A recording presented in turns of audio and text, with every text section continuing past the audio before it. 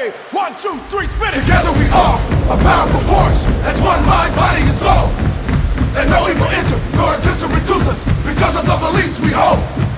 And with this love, combined with our strength, we ward off pain and stress.